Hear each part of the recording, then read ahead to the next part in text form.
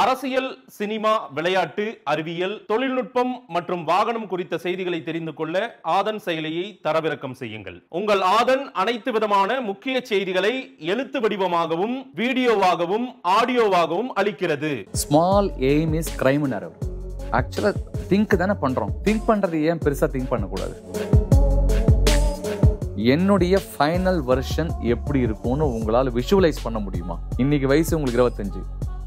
ஐம்பது வயசுல உங்களுடைய குடும்ப நிதி நிர்வாகம் நீங்க படித்து முடித்து இருக்கக்கூடிய புத்தகங்கள் நீங்க சந்தித்து அனுபவம். இருக்கக்கூடிய நபர்கள் இதெல்லாம் எப்படி இருக்கும்? என்டையர் பிசினஸ்க்கு எந்த பிசினஸ் எடுத்தாலும் அதுல சென்டர் பாயிண்ட் யாரு? கஸ்டமர் தான். கஸ்டமர் தான். வாடிக்கையாளர் தான். நுகர்வோர் தான். அந்த வாடிக்கையாளரை வந்து அவங்க நாடி துடிப்பை உங்களால பிடிக்க முடிஞ்சா நீங்க வந்து வின்னர் அதுல. சாதாரண ப்ராடக்டா இருக்கலாம். ஆனால் சேல்ஸ்மேன் கெத்தாக இருக்கலாம். அவன் போயிட்டு வித்துட்டு வந்துடுவான் உங்ககிட்ட சூப்பர் ப்ராடக்ட் இருக்கலாம். உங்ககிட்ட இருக்க சேல்ஸ்மேன் வந்து அந்த அளவுக்கு பெரிய எக்ஸ்பர்ட்டாக இல்லாத இருக்கலாம். விட்டு தெரியாது. எந்த பிஸ்னஸ்லையுமே வந்து பதினெட்டு மாதம் பொதுவாக பார்த்தீங்கன்னா ஒரு பதினெட்டு மாதம் நீங்கள் காம்படிட்டரை விட அடுத்த லெவலில் திங்க் பண்ணிகிட்டே இருக்கணும்.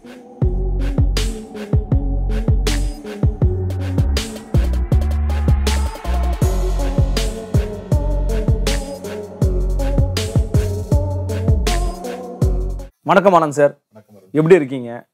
மகிழ்ச்சி. ரொம்ப மகிழ்ச்சி. நம்ம போன எபிசோட்லாம் வந்து பார்த்தீங்கன்னா பிராண்டை பற்றி பேசியிருந்தோம். எப்படி இந்த ரேஞ்ச் அப்படிங்கிறத பற்றி நிறைய நம்ம பேசியிருந்தோம். இந்த விஷயம்லாம் நம்ம பற்றி நம்ம பேசும்போது இன்னொரு விஷயம் நமக்கு தேவைப்படுது.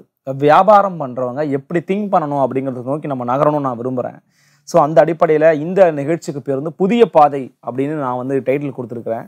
ஸோ இந்த புதிய பாதையில் என்னுடைய முதல் கேள்வி அப்படிங்கிறது ஒரு சின்ன வியாபாரம் பண்ணுறவங்க ஏன்னா எம் எம்எஸ்எம் பற்றி தான் நம்ம பேசிக்கிட்டு இருக்கோம். நீங்களும் அதில் எக்ஸ்போர்ட் அப்படிங்கிறதுனால. ஸோ ஒரு சிறிய வியாபாரி ஒரு பெரிய முதலாளியை போல சிந்திக்க முடியுமா? அதுக்கான வாய்ப்புகள் இருக்கா? அப்படி சிந்திக்கிறது வந்து கட்டாயமா? ரொம்ப அருமையான கேள்வி. முதல்ல ஒரு எபிசோட்ல ஒன் ஆஃப் த எபிசோட்ஸ்ல பேசும்போது டாக்டர் அப்துல் கலாம் ஐயா சொன்ன ஒரு விஷயம் நான் சொன்ன ஞாபகம் நினைக்கிறேன். ஞாபகம் ஏன் கற்பனை கூட கஞ்சமா வச்சிருக்கீங்க அப்படின்னு கேட்டீங்க. ஸ்மால் எய்ம் இஸ் கிரைம் அவர். ஆக்சுவலா திங்க் தானே பண்றோம். திங்க் பண்றது ஏன் பெருசா திங்க் பண்ணக்கூடாது? அதுல என்ன உங்களுக்கு நமக்கு நஷ்டம் ஆக- ஆக போகுது? அதுல ஒரு இப்போ இன்னைக்கு இருக்கிற நைன்டி கிட்ஸ் கேட்குறேன் நான் ஒரு கேள்வி கேட்கட்டுமா? திங்க் பண்ணணும் தான் சொல்றீங்க. எப்படி இருந்தாலும் நான் அம்பானி ஆக முடியாதுன்னு ஒருத்தர் நினைக்கிறார். நான் அம்பானி ஆக முடியாதுங்க. ஆனா நான் குறைந்தபட்சம் ஒரு தமிழ்நாட்டில் இருக்கக்கூடிய ஒரு தொழில் முனைவராக அவன் நினைக்கக்கூடாது அப்படின்னு கேட்குறாங்க அப்போ அவருக்கு உங்களுடைய பதில் என்ன? அதாவது நம்ம என்னைக்குமே வந்து ஸ்கூல் படிக்கும் போது இல்ல அதே நைன்டிஸ் கிட்ஸே கொஞ்சம் பாருங்க. நம்ம ஸ்கூல் படிக்கும் போது நூத்துக்கு நூறு வாங்கணும் தான் நம்ம எல்லாருமே ஆசைப்படுவோம்ல. பொதுவா உண்மைதான். எல்லா குழந்தைங்களுமே ஸ்கூல் போகும்போது நம்ம நல்லா வாங்கணும். நூத்துக்கு நூறு வாங்கணும். எவ்வளவு பாவம் நூத்துக்கு நூறு வாங்கணும்டாக்கண்ணா வீட்டுல வந்து அம்மா அப்பா சொல்லி அனுப்புவாங்க. நூத்துக்கு நூறு வாங்கணும். எல்லா வாங்கி நூத்துக்கு நூறு வாங்க முடியுமா? முடியாது. அப்படி நூறுன்னு நான் உங்களுக்கு ஒரு இலக்கை வைக்கும் போது தான் உங்க மனசுக்குள்ள நம்ம நூறு வாங்கணுன்ற எண்ணத்துல நீங்க போகும்போது நல்லா எழுதணுன்ற ஒரு எண்ணம் வரும். நல்லா எழுத முயற்சி செய்வீங்க. செய்யும் போது எண்பது வரலாம் எண்பத்தஞ்சு வரலாம் எழுபத்தஞ்சு வரலாம் தொண்ணூறு வரலாம். ஸோ எண்ணம் இந்த நூறா இருக்கணும். எண்ணம் என்னைக்குமே உயர்ந்த எண்ணமா தான் இருக்கணும். ஓகே ஃபைன் எவ்வளோக்கு எவ்வளோ உயர்ந்த எண்ணமா இருக்கோ நீங்க அட்லீஸ்ட் நீங்க வந்து மூணை வந்து எய்ம் பண்ணாதான் அட்லீஸ்ட் அது மூணு கிட்ட போறோமோ இல்லையோ at- வானத்துக்கு போகலாம் கண்டிப்பா. இல்லையா? ஸோ உயர்ந்த நோக்கம் உயர்ந்த எண்ணம் வந்து கண்டிப்பாக உயர்ந்து வரணும் தான் நம்ம ஆசைப்படுறோம். இப்போ உயர்ந்த நோக்கம் இருக்கணும். இருக்கணும்ல. ஸோ அப்படி இருக்கும்போது இது கண்டிப்பா தேவைன்றதை நான் உணர்றேன். ஆண்டர்பனர் பொறுத்த வரைக்கும். உங்களுக்கு நான் ஆன்சர் பண்ணிட்டேனா? பண்ணிட்டீங்கன்னு தான் நினைக்கிறேன். ஆனா எனக்கு என்னன்னா பெரிய முதலாளிகளை போல சிந்திக்க வேண்டிய கட்டாயம் இருக்கா? பெரிய முதலாளி அப்படி சிந்திச்சுக்கிட்டு இருக்கிறாங்களா அப்படிங்கிற இப்போ பெரிய முதலாளின் ஆர் பெரிய தொழிலதிபர் அப்படின்னு நம்ம சொல்றவங்க யாரு- யாருமே பாத்தீங்கன்னா பொதுவா பாத்தீங்கன்னா அவங்களும் ஒரு காலத்துல சாதாரணமா தான் ஆரம்பிச்சிருக்கணும். அவங்க சின்ன முதலாளி தான் இருந்திருப்பாங்க ஃபர்ஸ்ட் இப்போ நீங்க வந்து டாட்டாவே எடுத்துக்கோங்க. இன்னைக்கு இருக்கிற ரிட்டன் டாட்டாவுன்னா born with silver spoon diamond spoon சொல்லிக்கலாம். அவங்க அப்பா அவங்க அதுக்கப்புறம் அவங்க அப்பா தாத்தா. இல்ல. போய் பாத்தீங்கன்னா நான் ஒரு செய்தியை படிச்சேன் ரீசெண்டா டிவிஎஸ்ன்னு ஒரு கம்பெனி நம்ம. ஊர்ல சவுத் இந்தியா. இருக்கு இல்லையா தமிழ்நாட்டுல இருக்கு இல்லையா அந்த டிவிஎஸோட அந்த டிவிஎஸ் அந்த டிவி சுந்தரமையங்கார்னு பேர் அவருடைய. ஆரம்பிச்சவர். அவங்களுடைய சகோதரின்னு நினைக்கிறேன். அவங்க வந்து ரோட் ரோடா போயிட்டு கூடையில துணி வித்திருக்காங்க. அந்த போட்டோவை போட்டாங்க. போட்டு ஃபேஸ்புக்கில் வந்து போட்டிருந்தாங்க. அந்த செய்தி உண்மையாக தான் இருக்கும்னு நினைக்கிறேன் நான். நம்புறேன் நான். அவங்க ஃபோட்டோ போட்டதுனால. அருண் ஐஸ்கிரீம் நான் சொல்லியிருக்கேன் உங்களுக்கு முன்னாடி.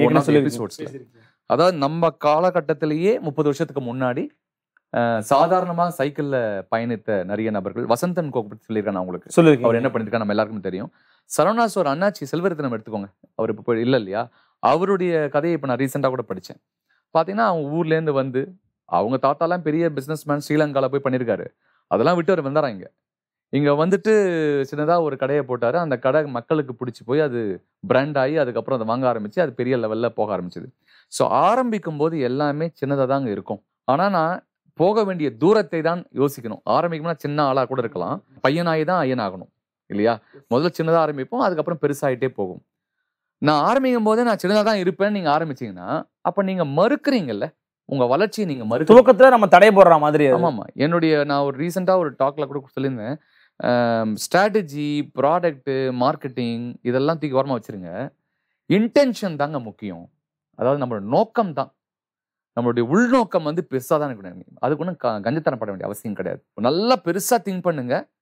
அஹ், வாய்ப்புகள் கண்டிப்பாக இருக்கு. போகிறோமோ இல்லையோ நான் மோட்டிவேஷனுக்காகலாம் பேசலை. அவ்வளோ தூரம் நான் போகிறேனோ இல்லையோ கண்டிப்பாக நான் இன்னைக்கு ஆரம்பிச்சதை விட பெட்டராக தான் இருப்பேன். அந்த எண்ணம் கண்டிப்பா முக்கியம் தான் நானும் நினைக்கிறேன். நீங்க உங்க வாழ்க்கையை கூட நீங்க திரும்பி பார்க்கலாம். இப்போ நீங்க ஒரு மீடியால உட்காந்து ஒரு ஆங்கரா நீங்க ஒர்க் பண்றீங்க அப்படின்னு சொன்னா நீங்க படிக்கிற காலத்துல இதெல்லாம் நீங்க யோசிச்சிருக்கவே மாட்டீங்க. கரெக்டா எஸ் ஷூர் இப்போ யோசிச்சு பாருங்க. இப்ப நான் வந்து உங்களை பெருமையா கூட பார்ப்பேன். உங்களை மாதிரி இருக்கக்கூடிய எல்லா ஆங்கரையுமே நான் சொல்றேன். அதாவது பாலாஜி ஆர்ஜே பாலாஜி அவர் பேசுற விஷயங்கள்லாம் நீங்க பார்த்தா உங்களுக்கு தெரியும். இந்த லெவலுக்குலாம் நாங்க வருவோம்னு நான் நினைச்சிருக்கவே மாட்டேன். ஆனா கிளிக் ஆகுது. அது வந்து சாதாரண நம்மள மாதிரி ஆளுங்களை எடுத்துட்டு பெரிய சூப்பர் ஸ்டார் வரைக்கும் இப்படிதான் நடந்திருக்கு. உண்மைதான். சாதாரணமாக தான் நான் இருப்பேன். சாதாரண ஆளுன்னு நினச்சிங்கன்னா நீ சாதாரண தான். இன்றைக்கி நான் காலகட்டத்தில் இப்படி இருக்கேன். அஞ்சு வருஷம் கழிச்சு பத்து வருஷம் கழிச்சு உங்களுடைய ஃபைனல் வெர்ஷனை பற்றி நீங்கள் எப்பவும் யோசிக்கணும். இங்கே ஒரு முக்கியமான விஷயம் இருக்குது அது தனிப்பட்ட நபராக கூட இருக்கலாம் தொழில் முனைவராக இருக்கலாம். என்னுடைய ஃபைனல் வெர்ஷன் எப்படி இருக்கும்னு உங்களால் விஷுவலைஸ் பண்ண முடியுமா? இன்னைக்கு வயசு உங்களுக்கு இருபத்தஞ்சு.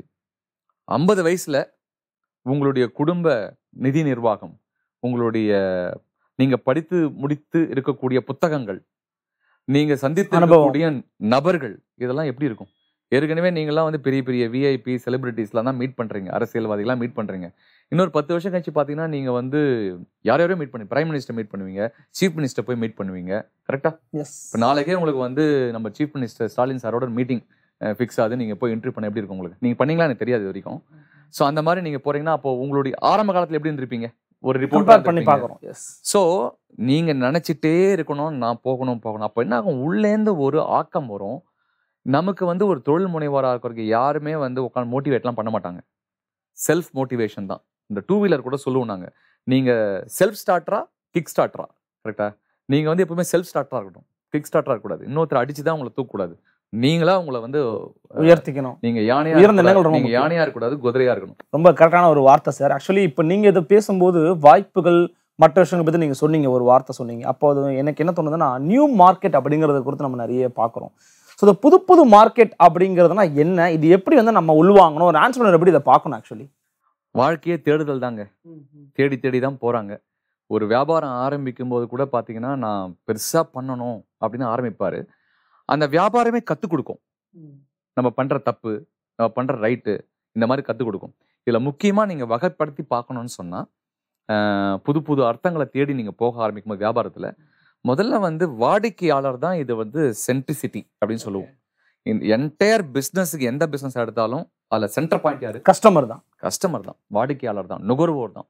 அந்த வாடிக்கையாளரை வந்து அவங்க நாடி துடிப்பை உங்களால பிடிக்க முடிஞ்சா நீங்க வந்து வின்னர் அதுல. அதை பிடிக்க முடியாததான் போராட்டம் நடந்துட்டு இருக்கு எல்லாருக்குமே. அந்தந்த கால அந்தந்த மட்டத்துல வச்சுக்கோங்களேன். எல்லாருக்குமே அந்தந்த மட்டத்துல. இப்ப உங்களுக்கே நீங்க ஒரு யூடியூப் சேனல் ரன் பண்றீங்க. அதன்னா உங்களுக்கு பல லட்சக்கணக்கான பேர் வந்து பார்க்கணும் கோடிக்கணக்கான பேர் எங்க சேனலை பார்க்கணும் நிகழ்ச்சியை பார்க்கணும் தான் நீங்க முயற்சி பண்றீங்க. டெய்லி ஒரு வீடியோ போடுறீங்க. இந்த மாதிரி வித்தியாசமான எதிர்நீச்சல் மாதிரி ப்ரோக்ராம்லாம் பண்றீங்க. ஏன்னா நிறைய பேர் போய் கொண்டு போய் சேர் நல்ல கண்டென்ட்டாக கொடுக்கணும். குவாலிட்டியாக கொடுக்கணும். இப்படிதான் தொழில் முனைவர் நினைக்கிறாரு. அப்போ நல்லா யோசிச்சு பாருங்க. அப்போ நம்ம என்ன செய்யணும்? அப்படின்னு பார்த்தீங்கன்னா முதல்ல கஸ்டமர் தான் முக்கியம் வாடிக்கையாளர். அந்த வாடிக்கையாளரை எப்படி நீங்க புரிஞ்சுக்கிறீங்கன்றதுல மேட்டர் தான் எல்லாமே மேட்டரே இருக்கு. நீங்க எப்படி வாடிக்கையாளர் புரிஞ்சுக்கிறீங்கிறத பொறுத்து தான் உங்க வியாபாரத்தோட விருத்தியே இருக்கு. வாடிக்கையாளர் வரும்போது கூடவே ஒரு வார்த்தை வரும். என்ன வரும்னு கேட்டிங்கன்னா மூணு விஷயமா நான் இதை பிரிக்கிறேன். நீங்க பேங்க்ல நான் முன்னாடி ஒரு எபிசோட சொன்னேன். கேஒய்சின்னு சொன்னேன். Know your your competency customer customer அப்படின்னு வார்த்தை சொன்னேன். ஆக்சுவலாக இப்போ நீங்கள் ஆன்சர் பண்ணிட்டீங்க. மூணு bucket know your customer know your competitor know your capacity or competency மூணுமே கேஒய்சி தான். ஸோ இப்போ இந்த கேஒய்சி ஸ்கொயர் போட் கியூப்னு போட்டுக்கலாம். இப்போ இந்த கேஒய்சி கியூப்ல வந்து கஸ்டமர் யாருன்னு தெரிஞ்சு போச்சு. இந்த ப்ராடக்ட்டை இந்த நுகர்வோர் இந்த வாடிக்கையாளர் வாங்க போறாங்கன்றத கட்டம் கட்டிட்டீங்க. அதாவது நீங்க கட்டம் கட்டுறீங்க. உங்ககிட்ட யார் பொருள் வாங்க போறாங்கன்னு. பொருளை கடையில வச்சுட்டு கடை தந்தாச்சு. யாராவது வருவாங்க வருவாங்கன்னு பார்த்தீங்கன்னா யாரும் வர மாட்டாங்க. அதை வர வைக்கிறதுக்கு உண்டான கட்டம் தான் இது. நான் பார்த்துருக்கேன் என்னுடைய பகுதியில் நான் வாழக்கூடிய பகுதியில் பார்த்துருக்கேன் ஒரு தம்பி வந்து இந்த கரோனா டேஸில் வந்து ஒரு கடை போட்டார். வெஜிடபிள் ஷாப் போட்டார். அதுக்கப்புறம் வந்து மாவு அரிசி மாவுலாம் பண்ணி கிரைண்டரில் பண்ணி போட்டார். ஃபஸ்ட்டு ஒன் வீக் வந்து பயங்கர சக்ஸஸ் நாங்களாம் கூட வாங்க ஆரம்பித்தோம் பக்கத்தில் போயிட்டு பக்கத்துல இருக்க கோஆப்ரேட் பண்ணோம்ல சப்போர்ட் பண்ணணும் வாங்க ஆரம்பித்தோம் எனக்கு தெரிஞ்சு என்ன ஆச்சுன்னு தெரியல ஒரே மாசத்துல அவர் கடையை முட்டார். என்ன காரணம்? அதான் அது வந்து ஆர்வ கோளாறுல பண்ணாரா? ஆர் அவருக்கு மெட்ரிக்ஸ் புரியலையா? அந்த பகுதியில வாழக்கூடிய கஸ்டமர் அவர் ஸ்டடி பண்ணல அப்படின்றது என்னுடைய கணிப்பு. இப்ப சில பேர்லாம் பாத்தீங்கன்னா ஒரு தொழிலதிபரை கேட்டேன். ஒரு மீட்டிங் ப்ரோக்ராம் நான் பண்ணேன் போன வாரம் சென்னையில. ஒரு நாற்பது தொழிலதிபர்கள் வந்தாங்க. தொழில் முனைவோர்கள் வந்தாங்க பேசியிருந்தாங்க. அதில் நாற்பது பேர்ல ஒருத்தர் சப்ளை பண்ணுறாரு ஆர்கானிக் ப்ராடக்ட் எல்லாரும் வாங்குறாங்க. அப்போ நான் அங்கேயே குயிக்காக ஒரு போல் பண்ணேன்.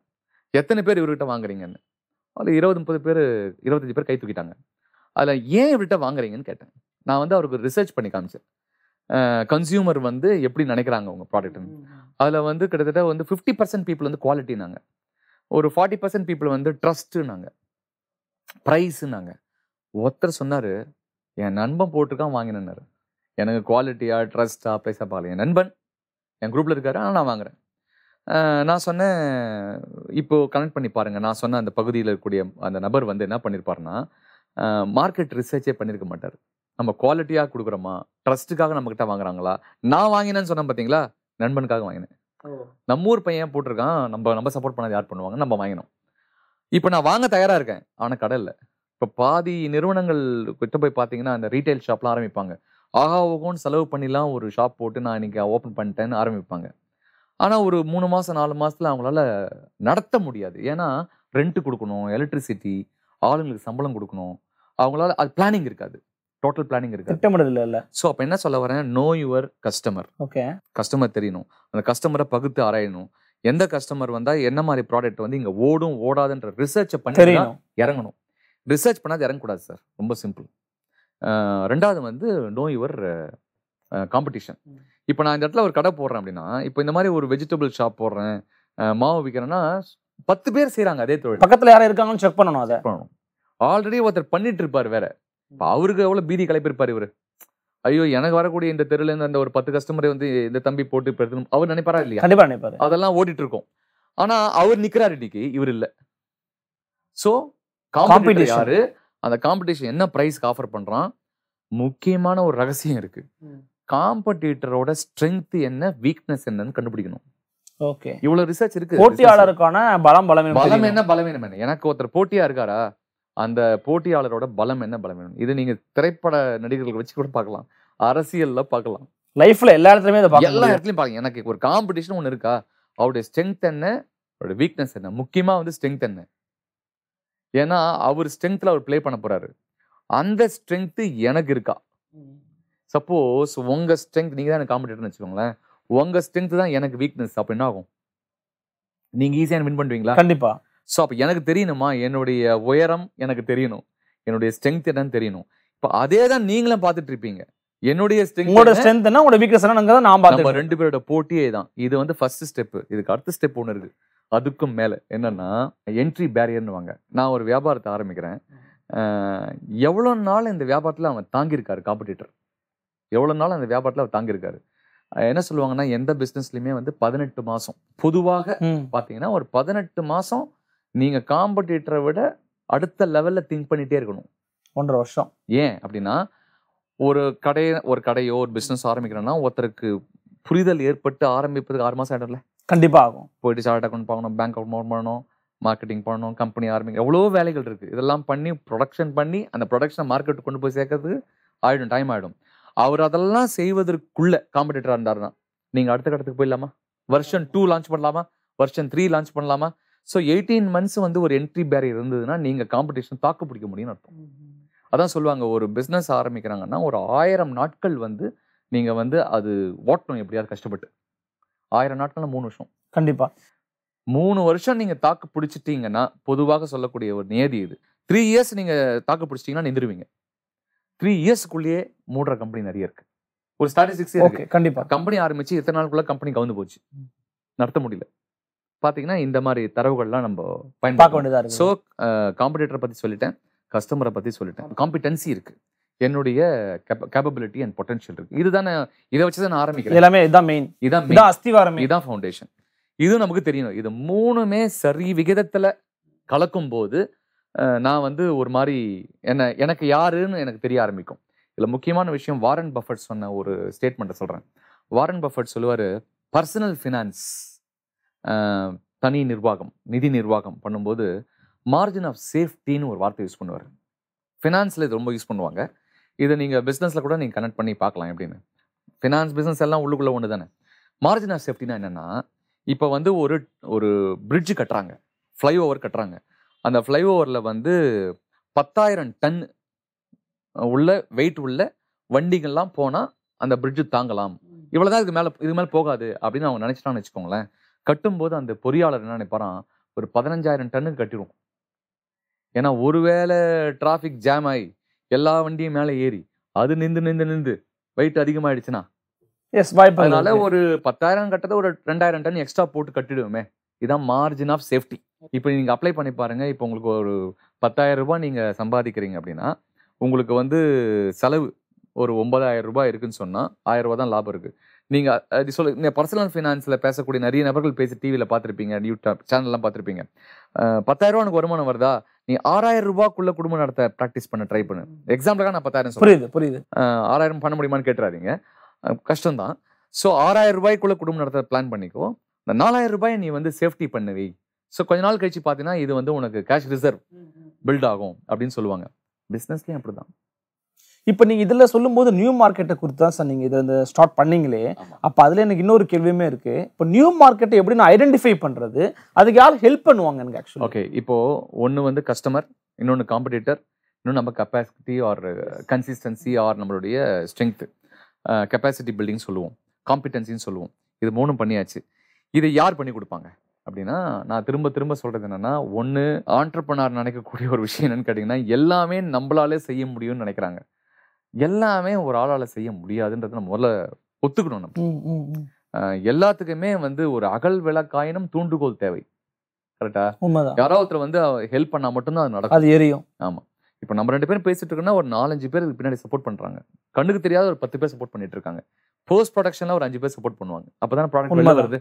அப்போ இதுக்கு உண்டான எக்ஸ்பர்ட்டை வந்து கரெக்டான எக்ஸ்பர்ட்டை கூட வச்சுக்கணுன்றது தான் நான் அடிக்கடி எல்லா ஆண்டர்பனருக்கும் சொல்றது. நிறைய ஆண்டர்பனர் இன்னைக்கு வந்து விழிப்போட இருக்காங்க அவேர்னஸோட இருக்காங்க. நம்ம வந்து சும்மா அவங்களுக்கு கொடுக்குற இது அட்வைஸா நினைக்க வேண்டியதில்லை. இல்லைன்னா சக்ஸஸ்ஃபுல்லாக பிசினஸ் பண்ண முடியாதுல்ல? உண்மைதான். ரோட்ல போனா எவ்வளவு கம்பெனி இருக்கு எவ்வளவு ஷாப்ஸ் இருக்கு எவ்வளவு பிசினஸ் நடந்துட்டு இருக்கு லேவாதேவி நடக்குது எப்படி நடக்குது? ஸோ ரெகுலரா கமாடிட்டியா நடக்கிற பிசினஸ் நடந்துரும். பட் இன்னோவேட்டிவா பண்ணி வால்யூமா பண்ணணும் அப்படின்னு சொல்லும்போது எக்ஸ்பர்ட் பீப்புள் வந்து கூட வச்சுக்கிறது நல்லது. அது அவங்க எம்ப்ளாயாக இருக்கலாம் ஆர் எக்ஸ்டர்னல் அட்வைசரா இருக்கலாம். இன்னொரு தரவு உங்களுக்கு சொல்ல போகிறேன் இந்தியா மாதிரி எடுத்திங்கன்னா தமிழ்நாட்டில் எடுத்திங்கன்னா லட்சக்கணக்கான எக்ஸ்பர்ட்ஸ் வந்து இருக்காங்க. இந்த எக்ஸ்பர்ட்ஸ்லாம் யாருன்னு நீங்கள் கொஞ்சம் உள்ளே போய் பார்த்தீங்கன்னா எக்ஸ்பர்ட்ஸ் எக்ஸ்பர்ட்ஸ் நான் சொல்கிறேன்ல அவங்களாம் யார்? அப்படின்னு கேட்டிங்கன்னா அவங்களாம் ஒரு பத்து வருஷம் இருபது வருஷம் முப்பது வருஷம் பெரிய நிறுவனங்களில் ஒர்க் பண்ணிவிட்டு ரிட்டையர் ஆயிருப்பாங்க. இப்போ பேங்க் ப்ராஜெக்ட் போடுறீங்கன்னு சொன்னா எக்ஸ் பேங்கர்னு கேள்விப்பட்டிருப்பீங்களா? ஒரு வார்த்தை சொல்லுவாங்க. இவர் வந்து பேங்கருங்க எக்ஸ் பேங்கருங்க பேங்க்ல ஒர்க் பண்ணியிருக்காருங்க முப்பது வருஷம் அனுபவம் இருக்கு. அவர் தான் உங்களுக்கு கன்சல்டண்டா இருப்பார். அப்போ அவருக்கு தெரியும் பேங்க் ப்ராஜெக்ட் எப்படி போகணும்னு. அந்தந்த ஆளுக்குன்னு ஒரு திறமை இருக்கு ஒரு சிறப்பம்சம் இருக்கு. அவங்கள தேடி கண்டுபிடிச்சிட்டு அந்த வேலையை நீங்க கொடுத்துட்டீங்கன்னா முடிஞ்சிச்சு. ஆண்டர்பனரோட வேலை ரொம்ப சிம்பிள் கரெக்டான ஆளை கண்டுபிடிச்சி இப்போ இந்த புது மார்க்கெட்டை வந்து யாருங்க நமக்கு கண்டுபிடிச்சு பண்றது. சொல்லுவாங்க? உதவி பண்ணணும்னு பார்த்தீங்கன்னா மூணு விஷயமா பாருங்க. ஒன்று வந்து self help is the best help முதல்ல அந்த ஆண்டர்பனருக்கு தெரியும். இல்லைன்னா அவர் ஏன் ஆண்டர்பனர் வரப்போறாரு?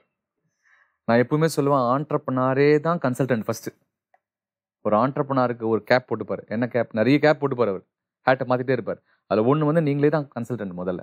உங்களுக்கு தான் தெரியும் உங்க வழி என்ன? ஒன்று ரெண்டாவது வந்து ப்ராப்ளம் ஸ்டேட்மெண்ட்டை டிஃபைன் பண்ண தெரியணும். என்னுடைய ஒரு டெவலப் பண்ணணும் மார்க்கெட்டை டெவலப் பண்ணணும்னு சொன்னால் என்னுடைய பிரச்சனை இப்போ என்ன அப்படின்னு தெரிஞ்சால் மட்டும்தானே நீங்கள் அதுக்கு சொல்யூஷன் பண்ண. போவீங்க. ஸோ ப்ராப்ளம் ஸ்டேட்மெண்ட்டை நிறைய பேருக்கு ஆக்சுவலாக பண்ண தெரியல. இது எப்படி இருக்குன்னு கேட்டிங்கன்னா ஒரு டாக்டர் கிட்ட போறீங்க. அந்த டாக்டர் கிட்ட போயிட்டு என்ன சொல்லுவீங்கன்னா எனக்கு வந்து தலைவலி அப்படின்னு சொல்றீங்க. டாக்டர் கிட்ட நீங்க சொல்றது தலைவலின்றது ப்ராப்ளம் ஸ்டேட்மெண்ட்டா சிம்டமா சிம்டம் தான் சொல்றீங்க. அதாவது டிசீஸை சொல்லலை. நான் ப்ராப்ளம் சொன்னது டிசீஸ் கண்டிப்பா. ஆனா நம்ம சொல்லும் நேரம் நம்ம சொல்லிட்டு இருப்போம்? எனக்கு தலைவலி டிசீஸா சொல்லிட்டு இருப்போம். இதுக்கு மருந்து கொடுங்கன்னு சொல்லிட்டு இருப்போம். டாக்டர் கேட்பாரு நீங்க அதை டிசீஸ்னு முடிவு பண்ணாதீங்கன்னு வரு. நீங்க உங்களுக்கு சிம்டம் சொல்லியிருக்கீங்க உங்களுக்கு தலைவலி ஒத்த தலைவலி அப்படின்னு சொல்றீங்க. அது சிம்டம் இந்த ஒத்த தலைவலி ஏன் வந்ததுன்றதை நான் கண்டுபிடிக்கணும். அது ஏன்னா உங்களுக்கு தெரியும் ஒரு ஒரு ஒருத்தருக்கு தலைவலி வருதுன்னா இருபத்தெட்டு ரீசன் இருக்கும் அதுக்கு. நம்ம எடுத்த உடனே என்ன பண்ணுவோம்? ஒரே டிசீஸாக சொல்லிடுவோம் அதை. எதையுமே கடைசி ஸ்டேஜுக்கு எடுத்த உடனே போக வேண்டிய அவசியம் இல்லை. நம்மளுடைய லிமிட்டட் நாலேஜில் நம்ம எடுத்த உடனே கடைசி ஸ்டேட்மெண்ட் என்னவோ அதை சொல்லிடுவோம் முதல்ல. அதுக்கு பதிலாக எனக்கு நான் இப்படி அப்சர்வ் பண்ணுறேன் எனக்கு இந்த பிரச்சனை இருக்குது இதே தான் new develop market market develop பண்ணும்போதும் எனக்கு கஸ்டமரோட பெயின் என்ன மார்க்கெட்டோட ஸ்ட்ரென்த் என்ன பர்ச்சேஸ் பவர் எப்படி போயிட்டுருக்கு காம்படிஷன் என்ன பண்ணிகிட்ருக்கு காம்படிஷன் ஸ்ட்ரென்த் என்ன வீக்னஸ் என்ன அதையும் தாண்டி அதுக்கு மேலே ஒரு முக்கியமான விஷயம் காம்படிட்டர்கிட்ட ஒர்க் பண்ணுற எம்ப்ளாயிஸோட ஸ்ட்ரென்த் என்ன வீக்னஸ் என்ன? அதுவும் ரொம்ப முக்கியம். இது பயங்கரமான மேட்டர் அதாவது ஒரு சாதாரண ப்ராடக்டாக இருக்கலாம் ஆனால் சேல்ஸ்மேன் கெத்தாக இருக்கலாம். அவன் போயிட்டு வித்துட்டு வந்துடுவான் உங்ககிட்ட சூப்பர் ப்ராடக்ட் இருக்கலாம் உங்ககிட்ட இருக்க சேல்ஸ்மேன் வந்து அந்த அளவுக்கு பெரிய எக்ஸ்பர்ட்டாக இல்லாத இருக்கலாம். விற்க தெரியாது. மேனேஜ்மெண்ட் உள்ள உட்காந்து ரூம்ல பேசிட்டு இருப்பாங்க. நம்ம ஒரு சூப்பர் குட் ப்ராடக்ட் வச்சிருக்கோம். ஆனால் ஏன் மார்க்கெட்டில் வந்து நம்மளால் விற்க முடியல?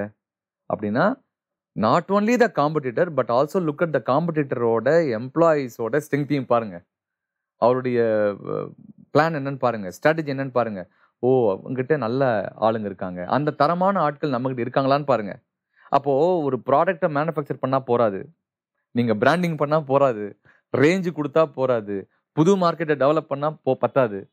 அப்போ என்ன வேணும்? அடுத்தது? நல்ல டீமும். டீம் வேணும். அந்த நல்ல டீம் எல்லாம் சேர்ந்து வரக்கூடிய அதனால தான் சக்சஸ் வந்து எல்லாராலையும் ஏன் பெரிய லெவல்ல ஹிட் கொடுக்க முடியலன்றது கூட காரணம் தானே. இதை நீங்க அகைன் திரைப்படத்தை வச்சே கூட ஒப்பிட்டு பாருங்க. எல்லாருமே டீம் தான். சில திரைப்படங்கள் வந்து சாதாரண ஸ்கிரிப்டா இருந்தா கூட நல்லா எடுக்கப்பட்டு ஓடுது. சிலது சூப்பர் கதையா இருக்கு நல்லா இருக்கு ஓடல. நல்ல கதையா இருக்கு அவார்டு கிடைக்கல. இது ஸோ நிறைய விஷயங்கள் இருக்குன்னு சொல்ல வரேன். கண்டிப்பா. சோ நியூ காரணிகள் இருக்கு இதுல இதுக்கெல்லாம் தேவை ஒரு team expert team internal team external team வெளியில இருக்கக்கூடிய டீம் உள்ள இருக்க டீம் எல்லாம் தேவை. நான் இப்போ தொழில் முனைவோருக்கெல்லாம் ஒரு செய்தியா இல்லை என்ன சொல்ல விரும்புறேன்னா அஹ் இது ஒரு டேக்அவே மெசேஜா என்னன்னு பார்க்கலாம் அப்படின்னா புது மார்க்கெட் டெவலப் பண்ணும்போது உங்களுடைய சார்ட்டர்ட் அக்கௌண்ட்டை கூப்பிட்டு பட்டயக்காரர் இருக்கார் இல்லையா கணக்காளர் அவரை கூப்பிட்டு உட்கார வச்சு கூட நீங்க பேசலாம். அவர் சொல்லுவார் நம்ம கம்பெனி இவ்வளோ ப்ராஃபிட் பண்ணுது. இந்த வருஷம் இப்படி பண்ணலை ரெண்டு வருஷம் முன்னாடி இப்படி பண்ணீங்க.